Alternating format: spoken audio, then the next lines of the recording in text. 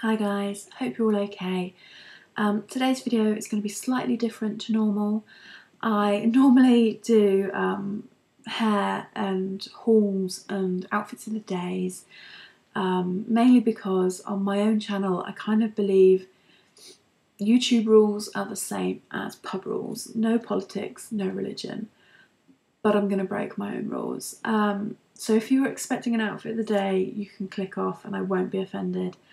Um, to be fair, I'm not even sure if I'm going to put this video up because I am struggling with it slightly.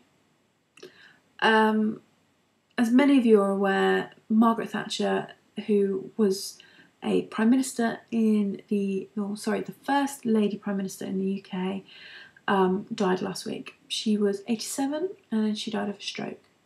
She was prime minister in this country for 11 and a half years, um, which is three terms. She didn't complete her last term, she was voted out by her own party, and John Major replaced her. Um, the part I'm struggling with is I think in most cultures, if not all, you are taught to respect your dead. Um, you don't speak ill of the dead.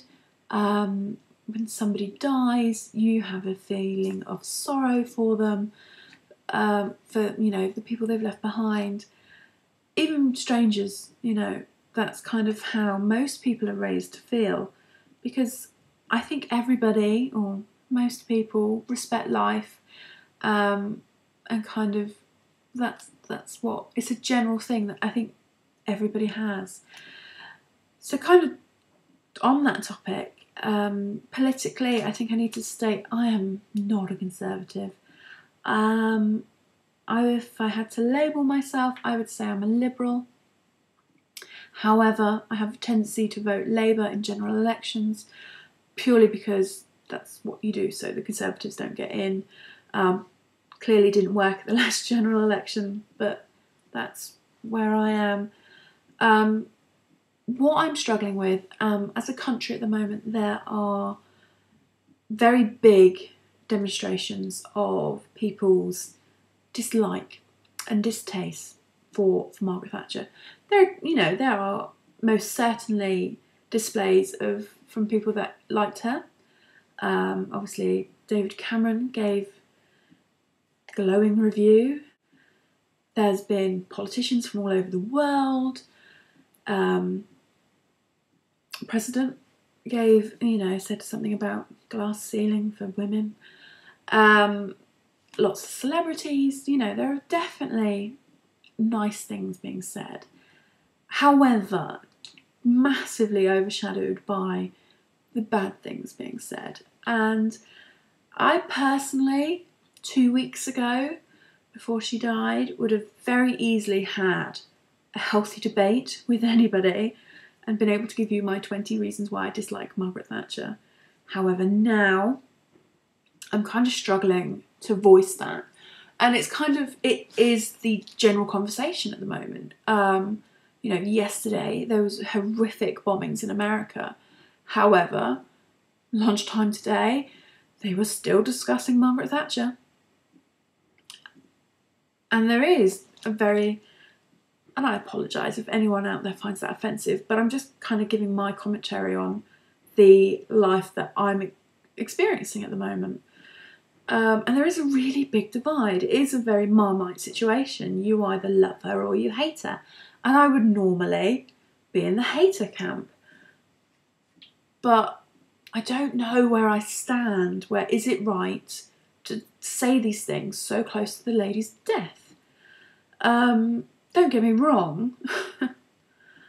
Politically, ethically, morally, you know, completely other end of the spectrum to her but I just don't know if I feel right bad mouthing of a lady that's just died. People would, you know, people say she's got a family. You shouldn't, you know, things shouldn't be being said because she's got a family, which she does. And you know, as a adult that lost has lost a parent, I was 26 when my father died, and it's horrific. It is the biggest emotional pain I've ever felt. I've never had. It was horrible. It was horrendous. Tearing up even talking about it. It was the worst pain I've ever been through emotionally. But, you know, Mark Thatcher, arms dealer. Margaret Thatcher, racist bigot. Do I really want to feel sorry for them? No. And then there are people out there that say, well, she did good, she did good for this country. And I must admit, I don't really see it. Okay, so she gave people the right to buy their council house. But then they didn't build any other council houses. So this one generation, well, they're all right, they've got their council house. But then there are all these other people that now can't have homes. You know, they can't get into a council house to be able to buy one. You know, there aren't enough homes for people. And some would argue that's why we're now going through the bedroom tax. Sorry, that's Darwin if you can hear a noise. Some would now argue that's why we're going through this whole bedroom tax um, issue because there aren't enough homes. If they didn't let give the right to buy or they continue to build council or social housing, then we wouldn't need a bedroom tax because there would be enough homes for everybody. Am I blaming everything in life on Margaret Thatcher? Possibly. Um, so, you know, there's that. Um, what's the other one that people keep on saying? That she gave the armed forces a 8%, was it 8% pay rise? Don't.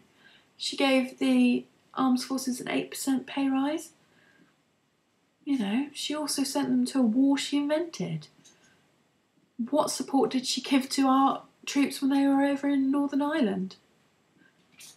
Cool. And some might say, I'm obviously, I was born in 1982. So I wasn't in Northern Ireland when that happened. However, my father was. He was shot. He lived through it. But I fully know and fully am aware of the support we were given. Cockle. So, but again, you don't speak ill of the dead. Another one I quite like is um, people keep saying, well, she believed in something and she stood by it. So did Hitler. I'm not saying Margaret Thatcher is as bad as Hitler, but Hitler believed in something. He stood by his guns. I do feel like I should say I don't celebrate her death. I don't think that's right. I don't think there should be street parties. However, um, I'm not. It's one of those things. I don't agree with what you're saying, but I agree with your right to say it. So I personally wouldn't take part in a street party to celebrate her death, but I understand why people do, and I agree with their right to display themselves like that. But then there's that inner part of me that goes, no, you can't say that about a person that's died. It was on Newsnight, or it may have just been the news. It gave statistics um, that apparently 60% of the UK dislike Margaret Thatcher. However, 100% of the UK taxpayers will be paying for her funeral tomorrow. Now, I don't believe there's been an official figure released to say how much the funeral is going to cost. Um, and I've seen some massive numbers in the media, but I think the lowest that I saw was 10 million. 10 million. 10 million pounds for a woman that 60% of the country don't like to be buried. I just, it's not right. It's just not right. And it's not like that's what we do for all of our prime ministers. It isn't. You know, Tony Blair won't get that. John Major won't get that. Gordon Brown, pff, definitely won't get that. As a country, we're poor. Do you know what I mean? We've just made big cuts on benefits and uh, it's just a joke. It really is a joke, and it makes me angry. And then that's when you kind of feel right, I can vent and I can rah, and this shouldn't be happening, and blah blah blah. But then you go back to she's just died, and you don't. It's tricky, you know. There are people out there that love her, you know, rich people normally, because that's who she made richer. she did. She made rich people rich and poor people suicidal. People blame her for the mines and privatisation and social housing crisis and obviously the poll tax and bedroom tax and blah, blah, blah. and it's just it's something I'm emo- emotionally struggling with because as I said two weeks ago I could have given you 20 reasons why I hate the woman. And now I kind of feel uncomfortable discussing it. And I kind of think that that's the kind of thing that I should address which is probably why I'm doing this video. I know I'm not giving any answers.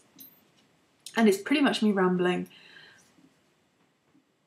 which is why I feel the need to do it. Because you, it needs to come out. I'm going to kind of read you a snippet from something that um, Terry Christian posted. Um, for those of you who don't know who he was, he was a presenter in the 90s. Um, he's a journalist, um, definite non Thatcher fan. Um, and there's loads of it. So I'm going to give you a couple of snippets. I'm looking down at my, my phone.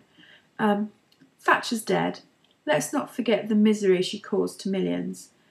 Her descriptions of Mandela as a terrorist, the destruction of our manufacturing base, her privatisation of her national assets, including North Sea oil, so the rich got richer, her friends like Saddam Hussein, and the way she prolonged the troubles in Northern Ireland, the mother of all deaths and so much misery. Now, I've kind of shortened that because it, it was long.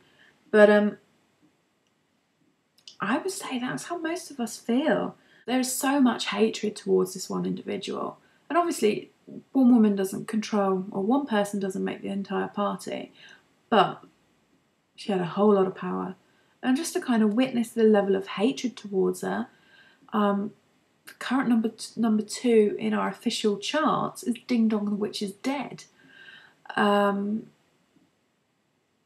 so people actually spent their money and downloaded that to kind of to be able to voice their feelings, I imagine. Um, and when I was kind of discussing my own feelings on the topic, a friend of mine said, "Well, you know, because I just liked her, but I don't. It doesn't sit right with me to to kind of call her call her out because she passed." Um, and a friend of mine very stated, well, you're probably not alone, and there's probably hundreds of other people that feel the same, that they can't voice their opinions. They're not strong enough or brave enough to go and be part of one of these street parties. But by paying 80 is it 89p to download a song, so nationally the world will it will be in the records. The world can see the week that Margaret Thatcher died. Ding Dong, the Witch Was Dead was number two in the charts. Maybe by doing that, they don't feel like they have to go out and publicly have that kind of evidence of their dislike for the woman. To recap, um, am I sorry she's dead? No. Do I feel sorry for her family? Yes. As I said, the losing of a parent is atrocious. It's the hardest biggest emotional pain I've ever been through. So, yes, I feel sorry for her racist daughter and her arms dealer son. Do I think she should have a state funeral? It's not being called a state funeral, but do I think she should have a funeral that's being paid by the taxpayer? No. Do I think it's appropriate that my dog is licking his willy while I'm talking about her?